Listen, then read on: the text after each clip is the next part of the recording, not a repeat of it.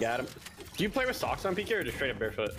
Uh, I'm barefoot at home, no socks, because I have a wood floor and I don't like like I like to have grip on the ground with my toes. I'm not I'm not lying, but at the office I wear I wear shoes. I don't necessarily play better or worse with shoes or but I don't like having just socks. I don't like having I, I like some grip on the ground, whether it's with shoes or with my just bare toes. There's gotta be there's gotta be a certain amount of grip. Bro, that right there might even that